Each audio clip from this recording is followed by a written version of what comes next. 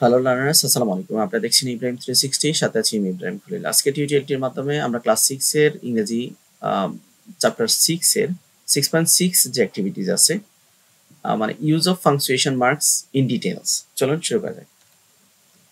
এখানে ইনস্ট্রাকশন দেওয়া আছে নোট দেওয়া আছে ইউজ অফ ফাংচুয়েশন মার্ক নিয়ে আমরা এগুলো নিয়ে আলোচনা করব। ইউজ অফ ফাংচুয়েশন মার্ক যদি চিহ্ন ব্যবহার ফুল স্টপ পিরিয়ড বা ডট আমরা কোথায় ব্যবহার করব? ফুল স্টপ ডট ইউজড কোথায়? At the end of the sentence বাক্যের শেষে। যেমন দেয়ার আর দে আর মাই নেইবার্স এখানে কিন্তু শেষে কি ব্যবহার করা হয়েছে? পাংচুয়েশন মার্ক পিরিয়ড বা ফুল স্টপ ব্যবহার করা হয়েছে। A dot is use to shorten a word একটা ওয়ার্ডকে শর্ট করার জন্য আমরা পাংচুয়েশন মার্ক পিরিয়ড বা ফুল স্টপ ব্যবহার করে থাকি। যেমন, অক্টোবর, এর সংক্ষেপে ব্যবহার করার জন্য অক্ট তারপর এই তো। এই বিষয়গুলো ব্যবহার করার জন্য।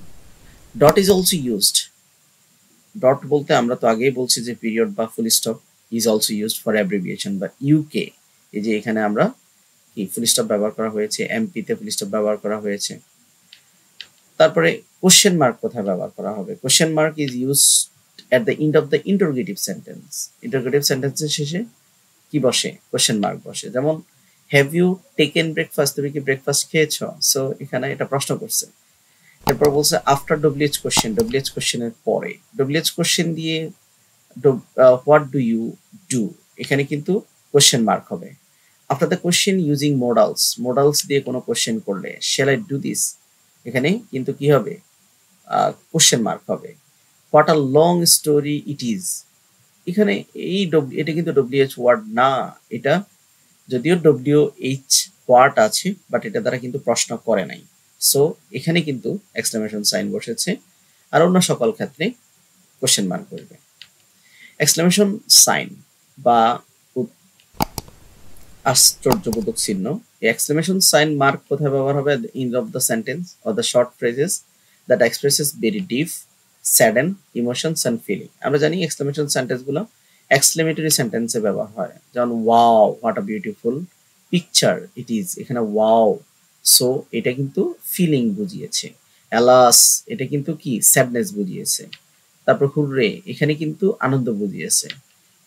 টু শো এম্পাসিস গুরুত্ব দেওয়ার জন্য। স্টপ এখানে থামার জন্য বলছে সো এটা এখানে এম্পাসাইজের কথা বলছে। পরবর্তীতে কমা কোথায় ব্যবহার হবে? Comma is use to give a title pause বিশেষ করে প্লিজ নো ইয়েস এদের ছোট ছোট বাক্যের ক্ষেত্রে কমা হয়। To separate items in a list একটা লিস্ট থেকে যেমন yesterday I bought a book pen ruler so এগুলোকে আলাদা করার জন্য কি ব্যবহার করা হয়? কমা ব্যবহার করা হয়। তারপরে কোটেশন মার্কস কোটেশন মার্ক হচ্ছে কোথায় ব্যবহার হবে? Someone use to quote someone directly quotation marks are two type single quotation mark and double quotation marks single quotation মার্কটা ব্যবহার হয় মূলত within a double one to indicate a quotation within a quotation কোটেশনের ভিতরে quotation বোঝানোর জন্য single